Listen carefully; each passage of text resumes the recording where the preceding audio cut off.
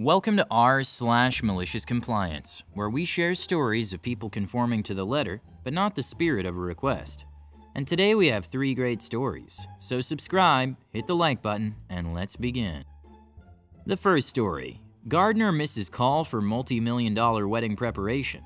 Boss threatens to fire if not there in 15 minutes. Gardener goes back to bed, ignores calls all day. The second story Employee is certain she knows better, is wrong, and FAFO. The third story. During military generator testing in California, a sergeant's malicious compliance with load banking instructions results in smoke blowing into a passing lieutenant general's car. Today's first story is Did I mess up your multi million dollar wedding? Oops. Background About 15 years ago, I was working as a very fancy gardener in Massachusetts. We tended to the house of Seven Gables and other wicked fancy places. One such location was the home of an extremely rich, I mean top richest people in the country. This is a huge investment management company. The house was known for filming parts of a perfect movie about a particular storm. I'm talking maybe a bound of wealth. For example, one job I was given was to rake the rocks on one of their personal beaches to make it more even. Yes, seriously. No, it never made a difference. I'm not as strong as the ocean. The daughter of the owner was planning on being married, on this property, it was months of preparation, from moving in a garden to covering parking lots, to planting moss between paving stones, and even us painting planters for, unloading, and planting dozens of Douglas fir trees. I mean, you guys, when I say over the top, this place had staging set up, yurts, I mean, it was insane. So, the malicious compliance. The boss had this weird thing he did. Each morning, we'd get a call telling us where our first job was to be. We give the okay and head over there.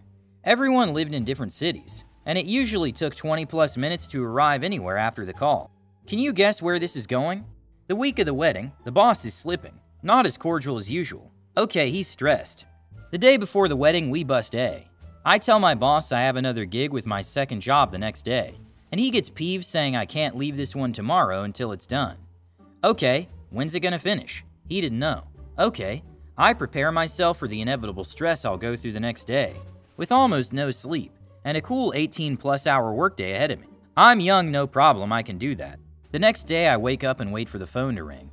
It does, but a good half hour later than usual, it's the boss, screaming about where I am.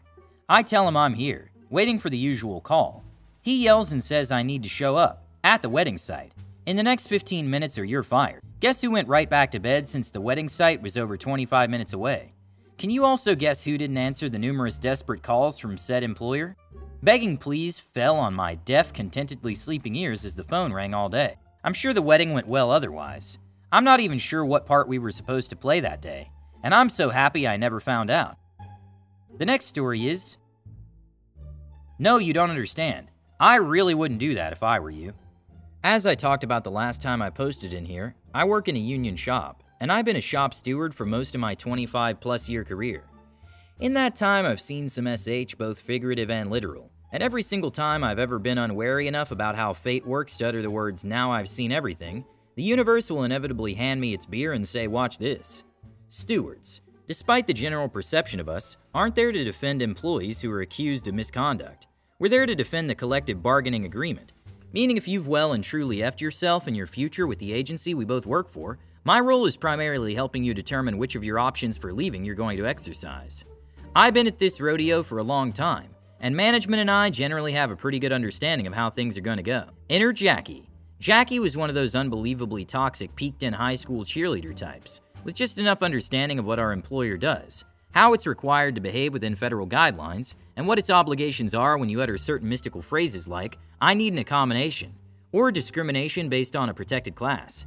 To be clear, those things are not just law, they're also morally right to be concerned about, and so my employer actually bends over backwards and does backflips to be certain that they're going above and beyond the minimum. Jackie was not a minority in any sense. She was female, but in a workplace it's 80% female. That doesn't quite count. She may well have been disabled, but that was undiagnosed, I think, and I'm inclined to think her claims of it, much like most of the rest of the things she said, were complete fabrications. The point at which I got involved was at the tail end of over a year's worth of actions by Jackie, in which it rapidly became apparent that her manager was, in fact, an excellent candidate for canonization. I got referred to her when one of my other union friends contacted me and said, Hey, Jackie so and so just got put on administrative leave, and it's total BS. Can you help? I get referrals like this a lot, both because I've been around forever and because I have a pretty good track record for ensuring that people accused of SH they haven't actually done get treated fairly, so nothing stuck out to me as odd.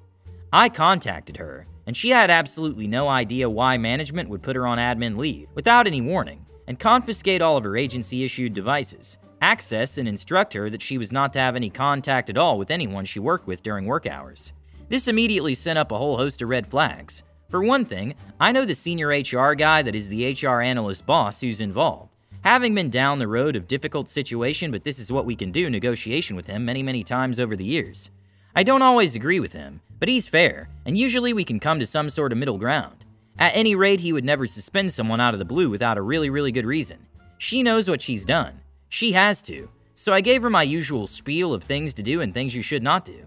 Don't tell me, or our employer, things that aren't true, especially if you think it'll make you look bad if you don't. Don't talk to your coworkers.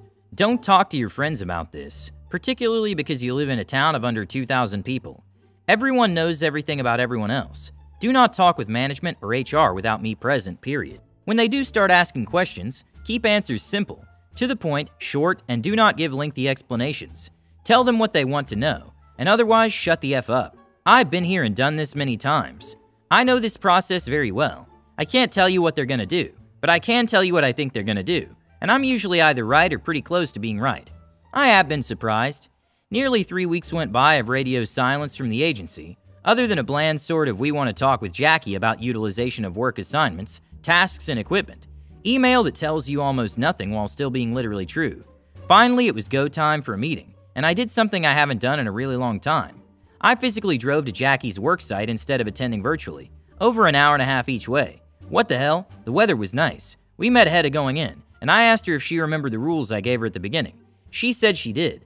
I asked her if she'd been following them, and she said she'd been very careful too. Swell, in we go. During the meeting, it was almost immediately obvious to me from the questions they started asking that Jackie was in serious, serious SH. Not like written warning or pay reduction, no, they were going to go for termination, and she was probably going to be very lucky if they decided not to refer to it to the DA for criminal prosecution. An abbreviated summary of just the high points. Jackie had hundreds of confidential documents and electronic files in her personal possession, many of which fall squarely under HIPAA. She had emailed these out of the government system to one of the four or five personal email addresses she maintains.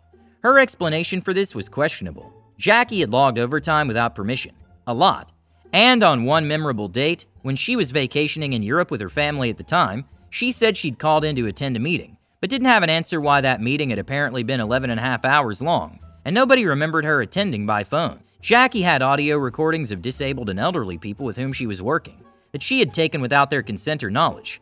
A lot of them. Jackie's overall work product and system activity reliably showed that she was logging in at the start of her day, from home, and she worked some in the afternoon. But there were hours and hours of time when her computer was idle. She explained this as participating in union activity, which I knew was BS because Jackie is not a steward. Jackie has no idea what the collective bargaining agreement actually says about much of anything beyond stewards can do whatever they want, and management can't say SH, which is uninformed, shall we say. At any rate, steward activity must be recorded and time-coded as such. Jackie has never attended steward training and so didn't know this. Apparently nobody ever told her that. There's more. There's so, so much more, but in the interest of brevity, I'll summarize the next four months of my dealing with this woman by pointing back to the cardinal rules I gave her, and simply say, she broke every single one of them. A lot. When it finally got to the dismissal hearing that comes before the You're Fired GTFO letter, she told me going in that she wanted to run things.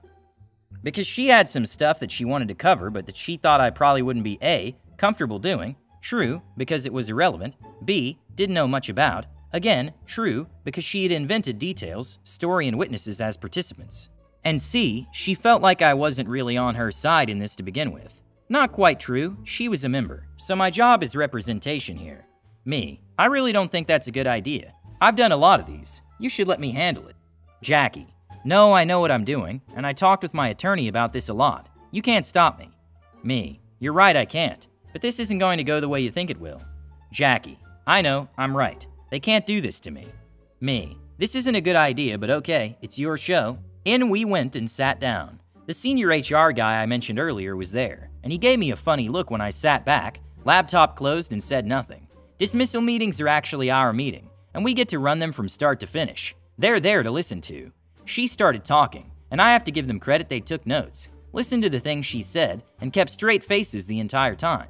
It went exactly as I figured it would. Just the things they'd asked her about in the first of the several meetings I attended with Jackie had covered terminable offenses on at least four or five different subjects, independent of one another. At the end, when she finally wound down, they all turned to me, Jackie included, and asked if I had anything I wanted to cover, or that I thought may have been missed. Nope, I said, I think she covered everything already. I don't have anything to add. That afternoon, I got the union copy of her dismissal notice. Generally, they're open at least discussing the option of the worker resigning and giving them a neutral reference going forward, but that wasn't in the cards. The last I had heard of Jackie, the Department of Justice was involved with her and her husband, and I'm reasonably confident that it didn't go well for her either.